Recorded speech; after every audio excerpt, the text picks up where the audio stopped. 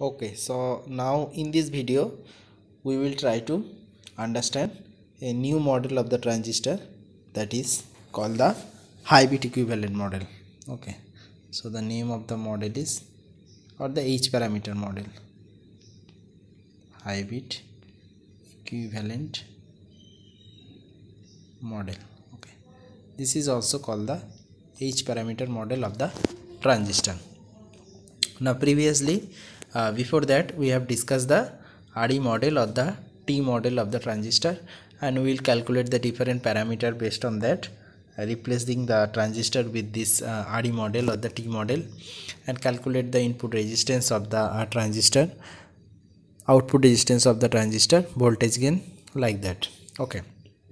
Now this model is uh, also uh, doing the same thing that means we are replacing the transistor with this model and try to calculate the input resistance output resistance and current gain voltage gain all these parameters. Okay so before discussing uh, all these how we calculate this parameter we will first understand what is the bit equivalent model. Now in this model we will consider the transistor as a two port network. Actually this h parameter model in the network analysis course. In your network analysis code there is a model called h parameter model. And in this parameter or in this model we will consider that this is a part of the two port network. So here suppose this is your input port and this is your input port. Okay. And this is we consider the transistor as a two port network. So this is your output port here the voltage is v1 and current passing through it is i1 and here we are considering i2 and the voltage across is v2 so this is the uh, black box view of the h parameter model. Now in this model we will try to write the equation for this. Okay so equation or the dependent equation is v1 and the i2 in the h parameter likewise in the network theorem h parameter model. So we will try to write this equation. So v1 equal to h11 i1 plus h12 v2 okay. And i2 equal to h21 i1 plus h22 v2 so this is the equation for this h parameter model. Now if you want to write it in the matrix form then it is v1 i2 like this. And this is your h11 this is your h12 this is your h21 this is your h22 and i1 v2 likewise also you can also represent the h parameter model. Okay. So here these two term that means v1 and i2 okay. So this v1 and i2 these two are dependent variable. As i have said it is the left hand side of the equation. So these two are dependent variable. Okay. And these two term i1 and v2 i1 and v2 these two term are independent variable. Independent variable. Okay. Okay so this is clear that v1 and i2 as dependent variable i1 and v2 are the uh, independent variable. So we will try to um, calculate this coefficient. So the first coefficient and also we will try to study what are the different unit of this parameter. So first uh, is h11 so h11 from the equation you can say that the h11 is v1 divided by i1 when your v2 equal to 0 so this is nothing but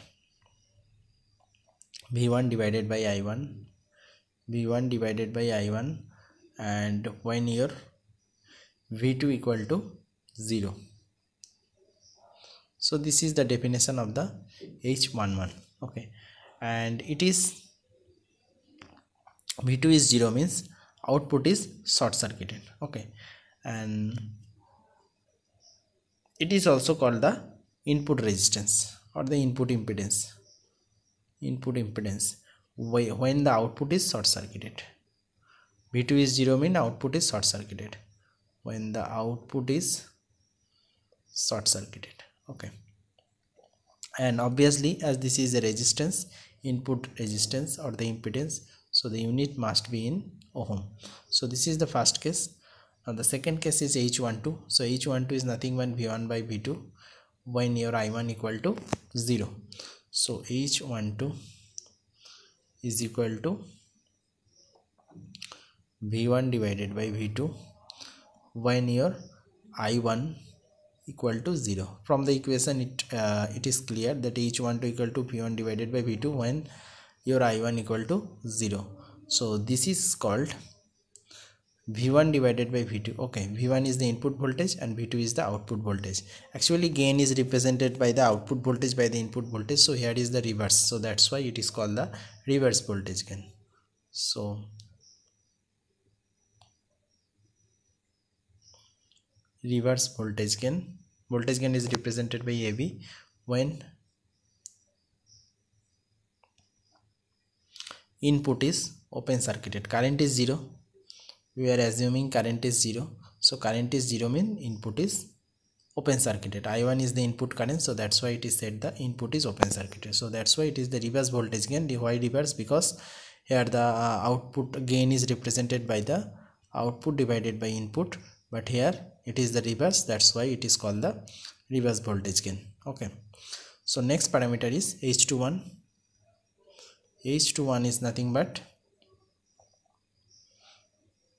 okay. So h21 is nothing but i2 divided by i1 and when v2 equal to 0 so i2 divided by i1 when your v2 equal to 0 okay. So that is called the current gain by current gain because i2 is the output current and i1 is the input current. So that's why output current divided by input current is called the current gain represented by ai and when output is short circuited v2 is 0 means when output is short circuited. And obviously this is unitless both this uh, gain okay gain is actually voltage divided by voltage unitless. Here also voltage divided by voltage it is also unitless. And the last parameter is h22 so h22 is nothing but i2 divided by v2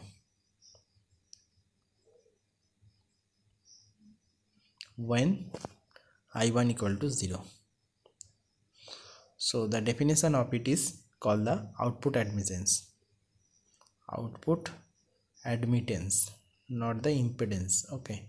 So it is called the output admittance. Why? Because the h22 is the current divided by voltage. If it is voltage divided by current then it is called the impedance. But here it is current divided by voltage that is called the admittance.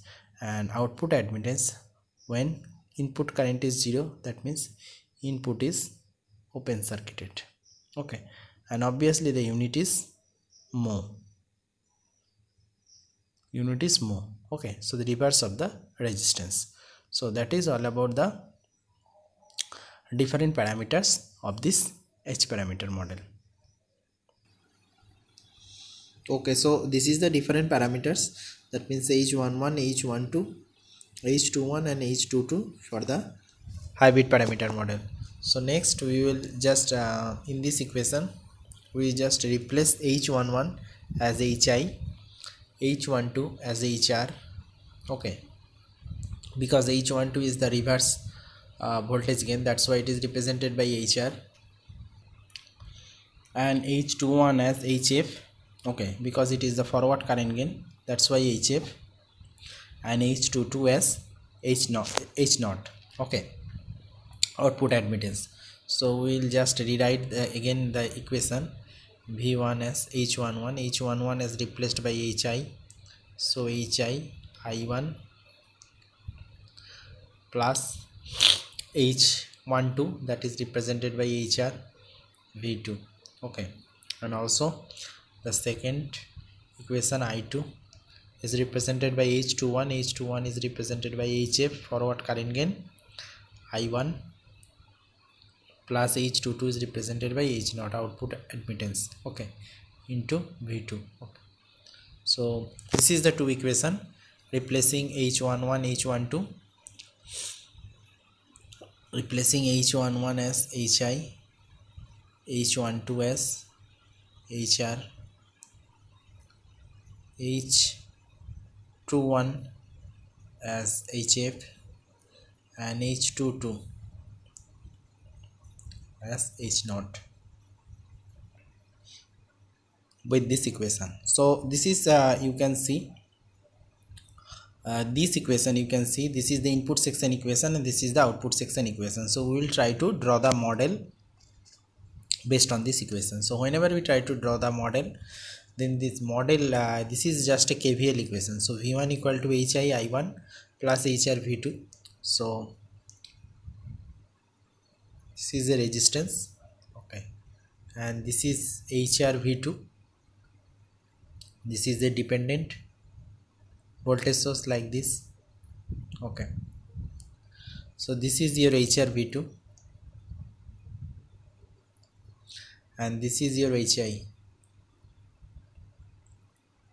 and current flowing through is it? I1 and the input voltage across it is V1 so this is the input section. This is a simple KVL loop. Okay. We can easily verify that uh, this equation v1 equal to hi into i1 hi in the uh, input resistance. Okay. So hi and i1 and this is your hr v2 and this voltage is v1 across it across this terminal this voltage is v1 and this is and this equation this equation is nothing but your kvl sorry kcl equation. So the output current i2 okay so output current i2 is nothing but the summation of these two current. Okay this summation this is the dependent current source and this is your um, I will write the output voltage as V2 so first I am just drawing the dependent current source. This dependent current source is represented as so this is as dependent current source. So this dependent current source is HF I1 okay. So this is your HF I1 okay. And the voltage across the output terminal I have considered as V2 okay. And current flowing through is its I2 one minute. Current flowing through is its I2 okay. And voltage across is, is V2 so here there is a resistance not resistance it is admittance. It is as H0 Okay, so this 8080 has a unit of mho okay. So this h0 h naught into v2 h naught has a unit of h naught has a unit of 1 by resistance. Okay. 1 by resistance and this is your voltage v2 so unit of volt. So volt divided by resistance. So this is nothing but a current. Okay. So this i i2 current is divided by these two branch current. Okay. So hope you can uh, understand this uh, whole model actually. So i'm just repeating this model once again. So this is the equation v1 v1 equal to this hi into i1 so this is nothing but a kvl equation. And this is hi i1 so this is the resistance hi and current flowing through is it is i1 this is uh, okay. And the voltage across the input terminal is v1 okay voltage across the input terminal is v1 now the output voltage here we have considered as v2 so as the input section uh, this hr is into hr into v2 so this this will be considered as the dependent voltage source. Why dependent? Because this voltage source is dependent on the output voltage. So that's why it is a dependent voltage source. If it is dependent on the input voltage then this will be not considered as the dependent voltage source. Okay. So hr into v2 is dependent depending on the voltage v2 so that's why this is a dependent voltage source hr into v2 and next uh, this so this is a kvl equation. This is nothing but a kvl equation i have represented with the help of diagram. So next equation next equation is nothing but your kcl equation. This kcl equation current the output section current is i2 so this is the i2 current. Okay. So this is the i2 current flowing through the output terminal and the voltage across the uh, sorry the voltage across the output terminal is also v2 now this current is divided by the true branch current. Okay. So this current is divided into two current. You can consider one is hf into i1 this is also a dependent current source because um, this current is dependent on this input current i1 so hf into i1 and there is a also current h 0 v2 h 0 is the unit of 1 by resistance and the voltage is unit of volt so v by r. So this will be also a current. So h 0 and v2 is nothing but a unit of current. So that's why this will be also a current and this current is flowing through it. So this is the complete model actually of the h parameter model. Okay so hope you understand the equation and how we replace this h11 h12 h21 h22 with the help of this hi hr why we call hr why we call hf like this and this two has a this has a unit of ohm and this has a unit of mho and these two are actually unitless. Okay. So with the help of this equation we are just replacing this model. So next we will try to uh, try to calculate the different parameter out of this model. So before that we will try to redraw the model once again. So one minute I am just copying this diagram. To copy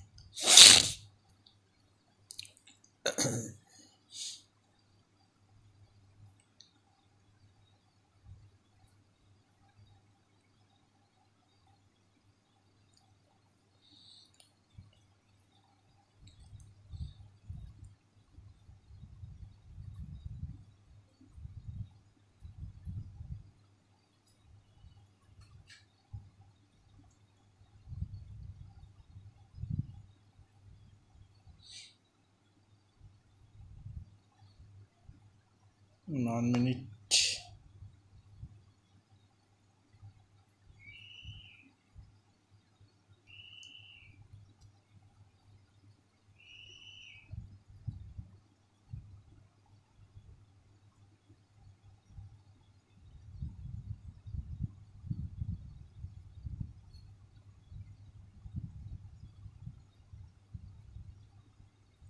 Okay. So this is the actually the h parameter model and in this h parameter model we will try to so this is your uh, current flowing through is i1 and this is your hi okay. This is your hi now in this model we will try to connect. We will try to connect whenever we are seeing the calculate the different parameter that the, the input resistance output resistance something like that. Then we uh, so this is the transistor model. Whenever we uh, connect the transistor to the input source or the source voltage AC source voltage. Then this will be your AC source voltage Vs. And this is a input resistance. Okay. Source resistance RS. And whenever we connect the transistor to a load so the load resistance must be there is some sort of load resistance so that will be your load resistance. Okay. And the voltage across is like this. So if we uh, just see this through this point then we will try to calculate the output resistance from there. Because I have said that whenever we try to calculate the input resistance or the output resistance then in the calculation of the output resistance we must exclude we must exclude the load resistance. And whenever we calculate the input resistance we must include exclude the source resistance. So this source resistance and the load resistance we will not consider whenever we calculate. And this is true for the all model of the transistor that we will not consider these uh, resistances whenever we try to calculate the input resistance and the output resistance of this transistor. Okay. So first parameter that uh, Ri is nothing but here in the case of the Ri Ri is nothing but your Vi divided by I1 so current flowing through is I1 and suppose this is the voltage Vs and uh, it may be considered as V1 because the voltage across is, is V1 so V1 divided by I1 may be your input resistance and your R 0 may be considered as R 0 may be considered as you must exclude the RL so V2 divided by I2 so I2 is the current flowing like this. This is your I2 I2 is the current flowing through it excluding the RL so whenever your v1 equal to 0 so this will be your expression for uh, ri and r0 now one point uh, this is the uh, I know i2 current direction. You can see this is the i2 current direction. And across the load resistance. Okay. Across the load resistance there is a current flow and that current may be considered as the load current or the output current that is i0 and its direction is in that direction. But the i2 current direction is in that direction. Okay. So whenever we eh, in that figure whenever we try to calculate the current gain okay. So whenever we try to calculate the current gain so current gain is represented by ai so ai is nothing but i naught divided by i1 output current divided by the input current. Input current is i1 and the output current is i1 so you can see that the i2 and the i0 current direction are the opposite. That means i0 is nothing but opposite of i2 okay. So then you can write i0 is i2 divided by i1 with a negative sign. Now what do you mean by the i2 i2 is written by this equation. Hf i1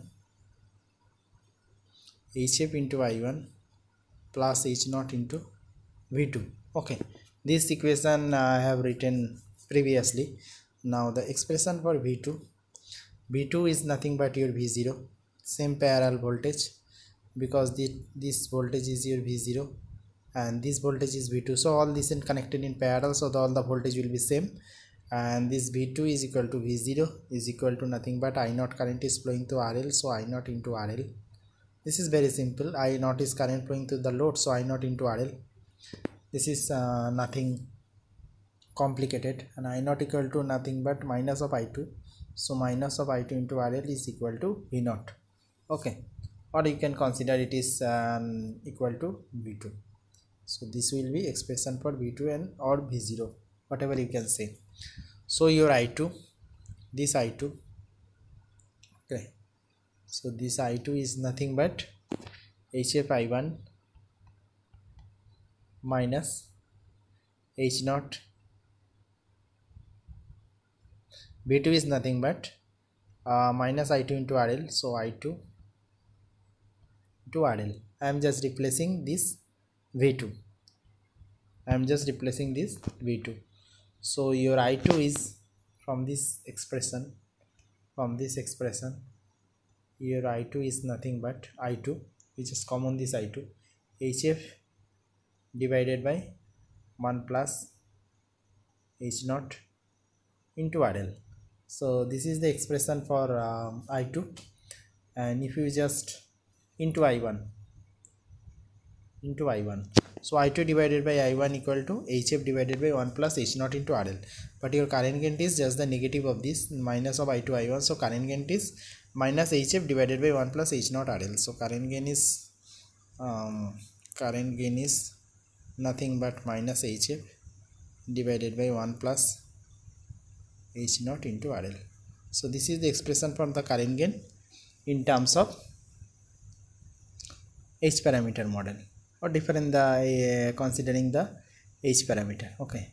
So next is the your input resistance so what is the expression for the input resistance? So input resistance. So input resistance is represented by ri. I have written previously that the input resistance is ri. It is nothing but v1 divided by i1 so v1 is the voltage across this voltage across this v1 so v1 divided by i1 okay. And what is the expression for v1 v1 is this expression uh, hi i1 plus hr v2 so hi i1 plus hr v2 this is the expression for this. And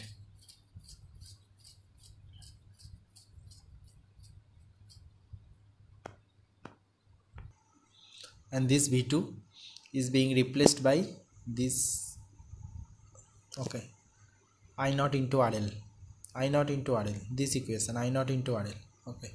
So this is hi into i1 plus hr into h naught into rl so vt b v2 is being replaced by h naught into rl so we know that the i0 by i1 is nothing but your current gain. This is your current gain. We have calculated just before. So i naught equal to ai into i1 okay so i i naught by i1 equal to ai so i naught equal to ai into i1 this is simple. So v1 equal to again hi into i1 plus hr h naught into rl so i am just replacing this uh, so this is not h naught this is i naught into rl i'm just i naught okay. So i naught is nothing but ai into i1 into rl so i'm just replacing i naught with this. So from this v1 divided by i1 all this is i1 so v1 divided by i1 is equal to ri is equal to hi plus hr ai into rl okay so and also if we just uh, this is ai here this is ai here. So ri equal to i'm just writing again ri equal to hi plus hr ai into rl. So you just replace ai with this with this value hf divided by 1 plus h naught into rl so hi minus uh, what is this expression? Hf divided by 1 plus h naught rl so hf 1 plus h naught into rl this is the expression for ai and hr is left and also rl is left. Okay so this is the final expression for ri okay. And one thing is left here and that is your voltage gain. Okay. so voltage gain next is your voltage gain. So uh, input resistance output resistance is already calculated. So next is voltage gain so voltage gain is represented by av av is nothing but v2 divided by v1 so v2 v2 is nothing but your v0 because all in, in parallel. I have said that previously. V2 is nothing but your v0 so v0 divided by v1 okay. And v0 is nothing but v0 is nothing but i naught into rl because i naught is the load resistance current divided by v1 v1 is i1 into ri okay. I1 into ri. And also i0 divided by i1 this is nothing but your current gain into rl divided by ri. And we know the expression for the current gain. And you also know the expression for the ri. So expression i'm just writing is another page. So av equal to av equal to first is your current gain ai what is the value of ai ai is nothing but minus hf 1 plus h not rl minus hf divided by 1 plus h not into rl into rl divided by ri what is ri ri is hi minus this whole thing. So hi minus hr rl hf divided by 1 plus h naught into rl okay. And now if you further simplify this if you simplify on your own and you will get this value. Finally hf into rl divided by hi 1 plus h naught into RL minus HR HF into RL you can just simplify this. I am not going into detail into this. This is static but uh, your uh, algebra. Okay. So we are getting the voltage gain. We are getting the input resistance. Okay. And we are getting the current gain expression. So these three expression we have get. Okay. So we can also calculate the overall voltage gain that uh, that will calculate in the next video. Thank you